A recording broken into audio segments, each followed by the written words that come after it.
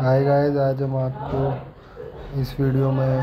दो चीज़ की डिटेल देंगे एक तो टाटा टेपर कैसे अनलोड होता है और ये कितने फुट मटेरियल लेके आता है अपने साथ में जैसे कि आप वीडियो में देख सकते हैं जैक अप की पोजीशन में खाली होगा